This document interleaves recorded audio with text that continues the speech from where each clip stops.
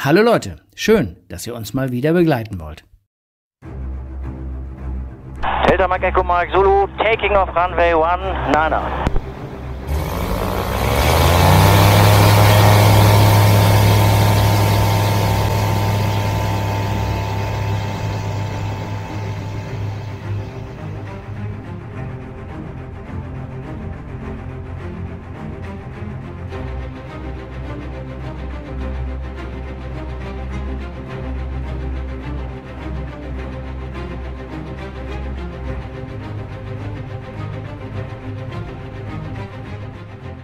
Heute Morgen sind wir schon um 9 Uhr unterwegs. Weit weg von der Nordsee stört kein Seenebel unseren frühen Aufbruch. Und unser Flug zum Port of Exit, wiederum Christiansand, dauert auch nur eine Dreiviertelstunde. Wir genießen die morgendliche Stille sehr und lassen uns von diesem wunderschönen See faszinieren. Es ist, als flögen wir in kanadischer Einsamkeit. In unsere Kneipe, wo wir gestern waren. Ja, da ist die Kirche. Genau, Ja, ist genau. davor, ne? Ja, genau.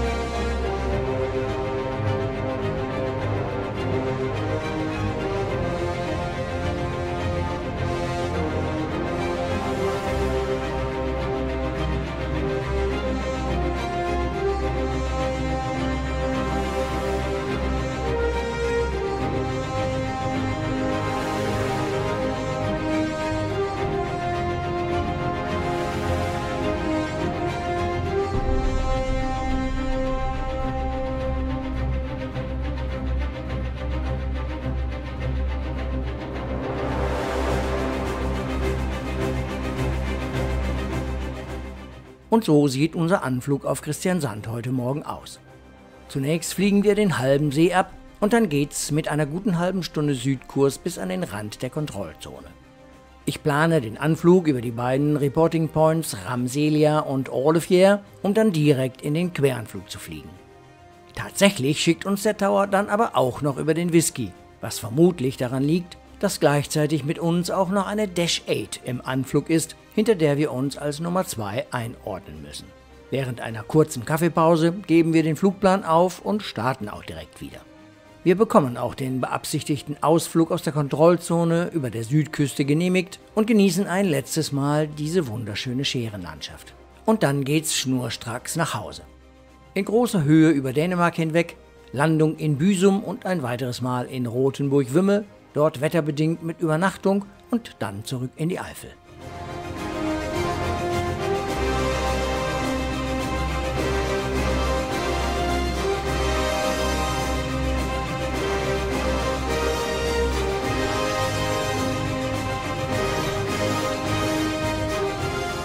Paris, uh, good morning, no shuttle uh, 995, level 370 for Lunin, cat level 250 weather. Ich habe 134 als nächstes. Ah, ja. Ich habe schon direkt äh, Tower genommen. Christian Sand Tower genommen. Ja. Ja, nee, der hat aber hast 100, recht, ja. 118 1. Äh, Appro Achso, ich habe Approach eingerastet. Das ist aber auch falsch, weil wir fliegen ja unter dem TMA-Sektor her. Jawohl. Wir rufen direkt den Tower.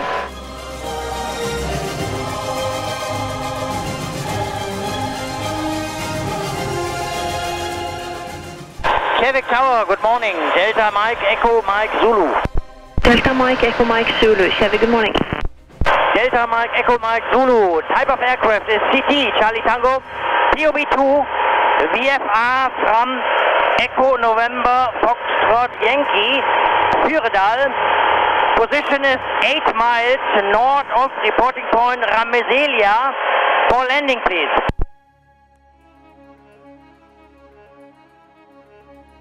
Delta Mike Zulu, Chevy, clear to enter control zone. Continue inbound Ålefjär. Runway 03 News, QNH 1017. Delta Mike Echo Mike Zulu will enter control zone via Ramselia, QNH 1017. Delta Mike Zulu, squawk 3623. Delta Mike Zulu squawk 3623.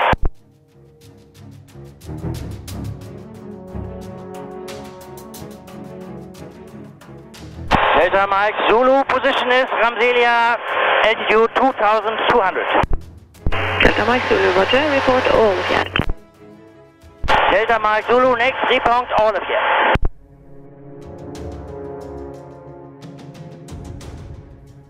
Delta Mike Zulu, cleared to uh, left downwind, runway 03. You are number 2 behind dash 8 from the west. Delta Mike Echo Mike Zulu expecting runway 03 left downwind and number 2. Delta Mike Zulu position all of here 1700. Delta Mike Zulu, thank you.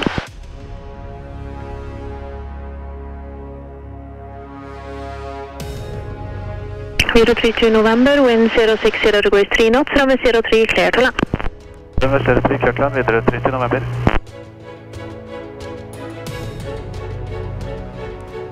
Delta Mike Zulu position whiskey 1000 feet turning downwind 03. Delta Mike Zulu, extend downwind, I will call you base, check the dash 8 on uh, left base. Delta Mike Zulu go.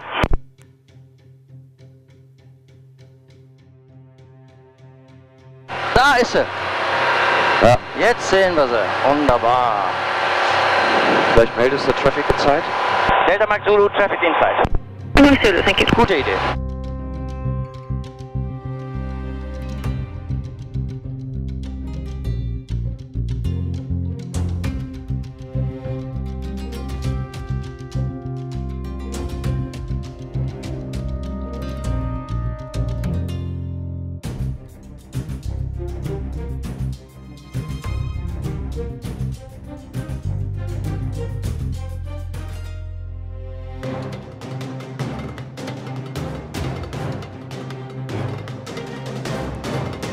Uns aber ganz schön dicht gestaffelt. Jo. Absolut. Delta Mike Zulu, clear to final number 2, caution wake turbulence. Delta Mike Zulu uh, cleared for final and uh, caution for turbulence.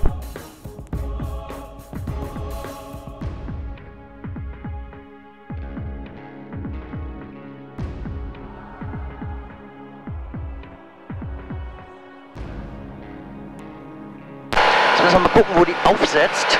Ja, Obwohl das nicht so ein Riesenbrummer ist. ja, trotzdem. Ist nicht lustig. Nee, ist nicht lustig. Da gibt's Schwelle, dann 1, 2, 3, 4 Doppelbalken. Ja. Ich kann es auch kaum noch sehen. Ja, warte, ich drehe noch ein bisschen weiter. So, das ist jetzt Schwelle. Erste, die dicken und da ist er, glaube ich, unten, ne? So, das heißt, da wo er jetzt, jetzt, wo er jetzt ist, da zwischen den letzten beiden Ja. würde ich aufsetzen. Okay. Ja, genau, das ist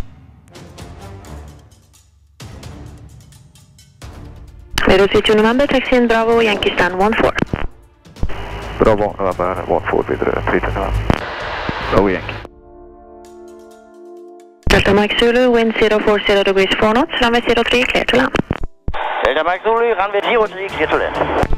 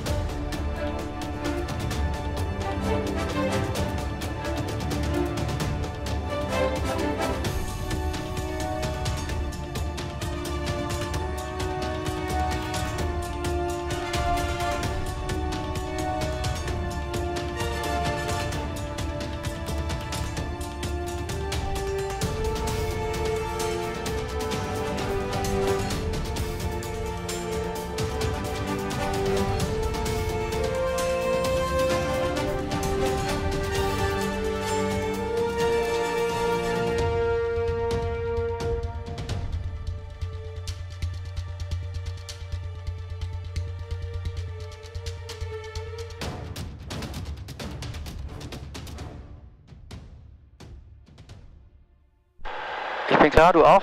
Ich bin klar. Delta Mike Echo Mike Zulu, position Alpha runway 03, ready for departure. Delta Mike Zulu, line up runway 03. Lining up 03, Delta Mike Zulu.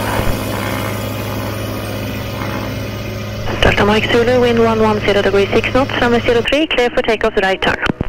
Delta Mike Zulu, runway 03, clear for takeoff, uh, right turn.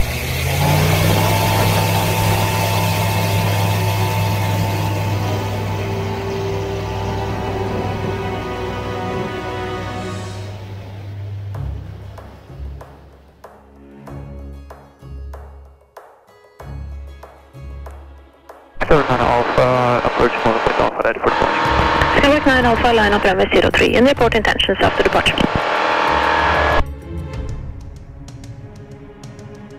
Uh, line up runway 03, intentions to uh, do airwork at uh, Bravo November. Skywork 9 Alpha, roger.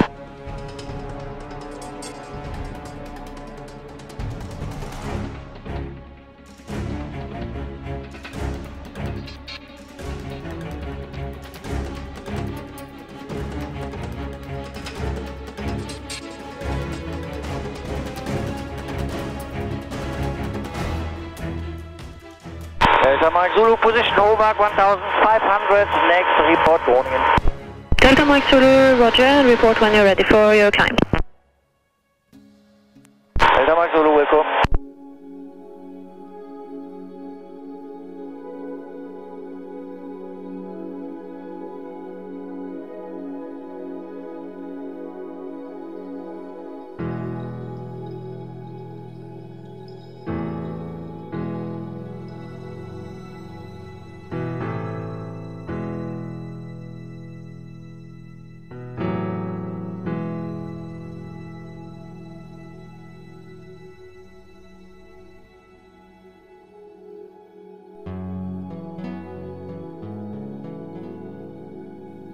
Delta Mike Zulu, position Groningen 1400, will follow flight plan right now. Delta Mike Zulu, roger.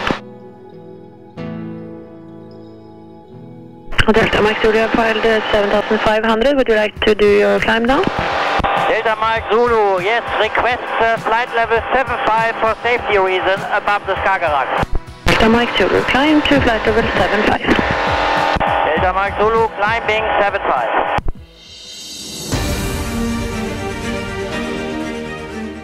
Der Überflug des Skagerrak in Flugfläche 75 geht ebenso planmäßig wie ereignislos über die Bühne. An einer Stelle sollte es für uns zunächst nochmal spannend werden, als uns zwei dänische Kampfflugzeuge angekündigt werden.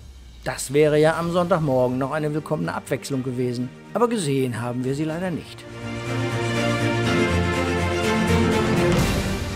Delta Mike Zulu, top of climb, remaining flight level 75. Delta Mike Zulu, uh, roger.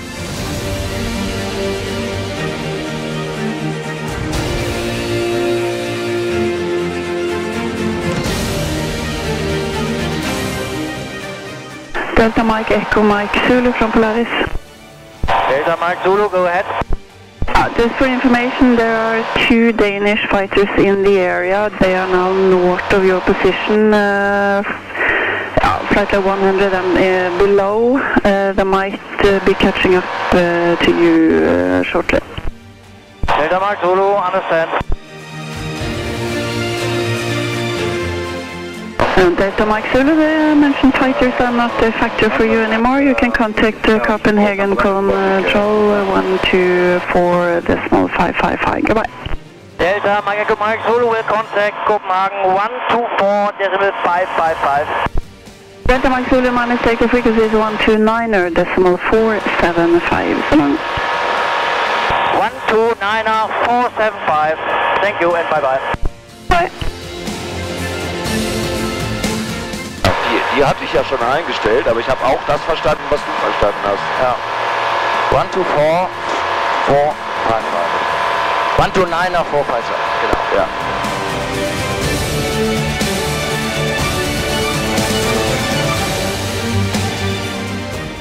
Copenhagen information, good day, Delta Mike, Echo Mike, Zulu.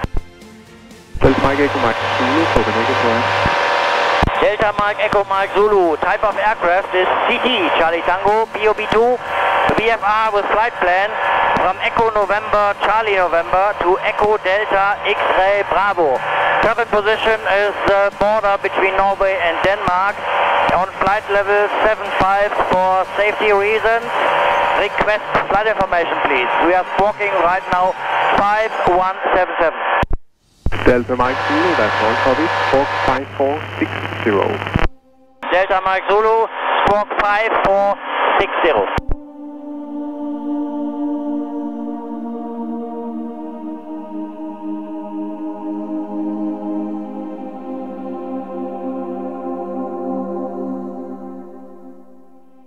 Der dänische Controller lässt uns weiter in Flugfläche 75 fliegen. Das ist schon sehr angenehm. Zwar haben wir hier oben mehr Gegenwind und der Flug dauert deswegen etwas länger als in 2000 Fuß, aber dafür gibt es hier oben keinerlei Thermik, kein Gewackel und auch keinen Verkehr. In aller Ruhe und sehr entspannt lassen wir in einer guten Stunde Jütland unter uns hinweggleiten. Ein Flug wie im Airliner.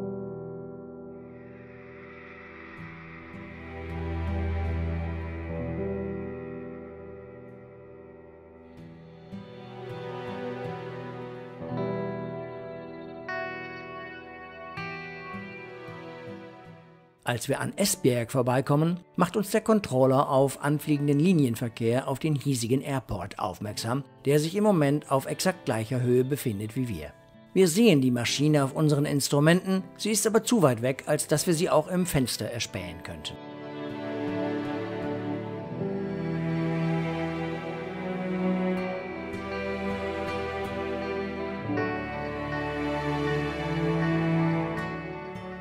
Und dann kündigt sich so langsam auch schon wieder Deutschland an. Zunächst überfliegen wir noch die dänischen Inseln Fanö und Römö, um anschließend mit großer Begeisterung auf die Insel Sylt hinunterzuschauen. Ich war mit dem Flieger schon zweimal auf Sylt, aber von Norden und aus dieser Höhe habe ich Deutschlands nördlichste Insel noch nicht gesehen. Das ist schon sehr beeindruckend. Ja, Sylt kann man im Sommer richtig geil sehen, die Nordspitze da. Ja, ja, List ist das, glaube ich, ne? Listerhaken, ja. Genau.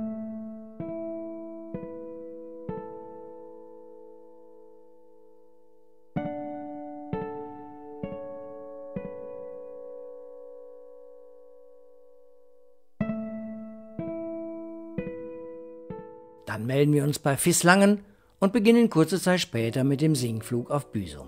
Von Föhr und Amrum sowie den Halligen sehen wir nicht viel, da die Inseln immer wieder von Wolken verdeckt werden. Und dann sind wir wieder dort, wo wir vor vier Tagen gestartet sind.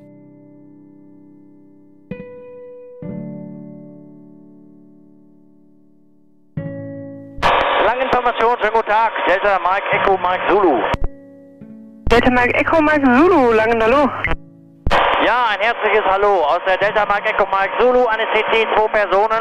Wir kommen mit Flugplan aus Christiansand, Norwegen und fliegen nach Heide Büsum. Unsere Position derzeit 15 Meilen nordöstlich von Sylt auf Flight Level 75 für Fluginformation. Delta Mike Echo Mike Zulu, verstanden, ich sehe Sie schon. Dann ins Squawk bitte auf 7740. Squawk 7740 kommt Delta Mike Zulu.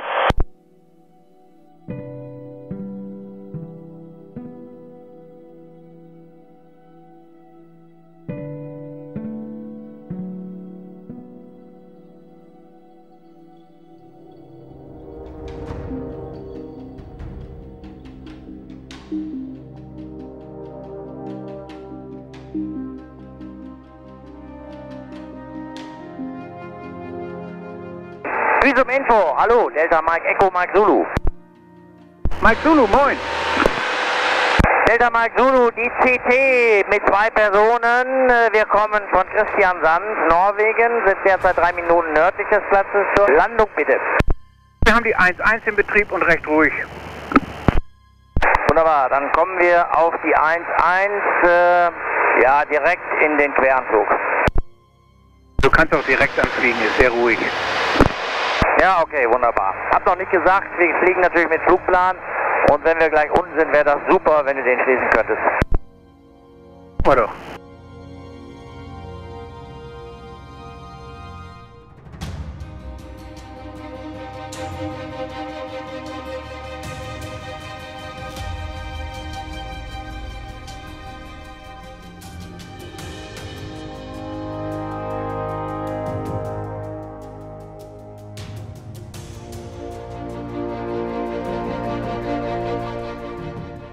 Unglücklicherweise zieht heute Nacht eine schwere West-Ost-Front von Süd nach Nord durch Deutschland, sodass ich keine Chance habe, heute noch nach Hause zu kommen. Also fliegen wir zu zweit zunächst weiter nach Rothenburg-Wümme, wo ich das große Glück habe, meine CT das zu erwartende Unwetter im Hangar abwettern zu lassen. Während mein Freund Oliver also schon wieder im heimischen Bett schlafen darf, muss ich mich ein weiteres Mal mit einem Hotelbett begnügen.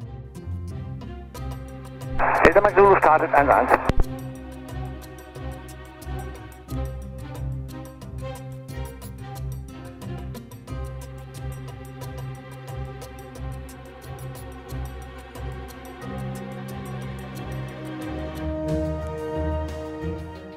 Zulu verlässt die Frequenz und die Platzrunde Richtung Südost. Danke, das war super bei euch wie immer. Tschüss.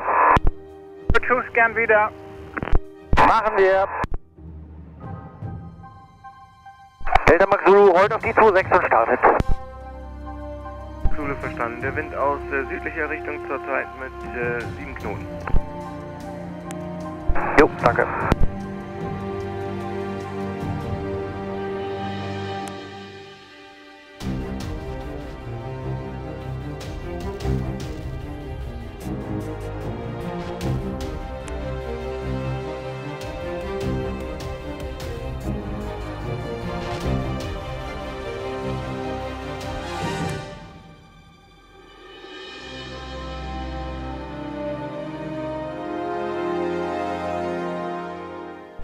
Delta Max Zulu verlässt die Frequenz und die Platzrunde Richtung Süden.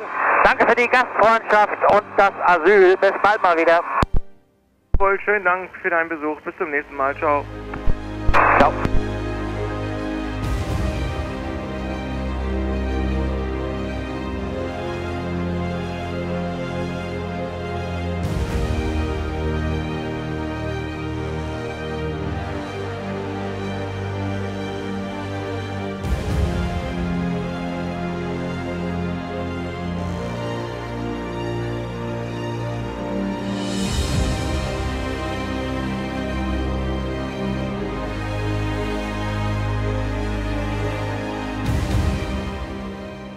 Am nächsten Morgen ist die Front bereits in Dänemark und ich mache mich auf die letzte Etappe von der Wümme an den Rhein. Zwar habe ich mit mehreren Regenschauern auf meiner Strecke noch ein paar kleine Wettereskapaden zu überstehen, aber das ist alles nicht so wild. Was bleibt? Nach jeder größeren Reise in Länder, in denen ich noch nicht war, bin ich versucht zu sagen, das war das Beste, was ich bisher im eigenen Flieger erlebt habe. Aber inzwischen ist der Flugreisefundus schon ganz schön ausgeprägt. Gegen meine Runden um den Vesuv oder den Ätna oder auch meine Landung in Valletta auf Malta ist wohl kaum ein Kraut gewachsen. Aber mit diesen Zielen auf einer Stufe steht Norwegen ganz sicher. Schließlich ist es eines der gebirgigsten Länder der Welt. Ein Viertel des Landes liegt über 1000 Meter hoch. Gletscher bedecken eine Fläche so groß wie das Saarland. Den größten Gletscher Europas haben wir zwar nicht direkt gesehen, sind aber doch mittelbar daran vorbeigeflogen. Und habe ich auf meinen Flügen jemals einsamere Landschaften gesehen? Oder mehr Wasserfälle? Definitiv nicht. Das größte Fjell und die größte Hochebene Europas haben wir gesehen, die Hardanger Widder. Hier befindet sich das Land über 9000 Quadratkilometern hinweg. Das ist dreimal so groß wie das Saarland, oberhalb einer Höhe von 1100 Metern. Unvergleichbar auch die Küstenlinien. Norwegen ist so dermaßen zerfurcht und fraktal, dass alle Küstenlinien, also alle Fjorde, Buchten und Inseln aneinandergereiht eine Länge von über 100.000 Kilometern ergeben. Das ist zweieinhalb Mal um den Planeten herum. Und während ich nun hier daheim auf der Mönchsheide lande, weiß ich schon, dass ich in Norwegen definitiv nicht das letzte Mal war. Bei der nächsten Gelegenheit fliege ich allerdings noch etwas weiter in den Norden. Da gibt es eine kleine Inselgruppe, die mich sehr reizt und die mich schon immer sehr angesprochen hat. Die Lofoten. Ich glaube, sie sind mein nächstes Ziel.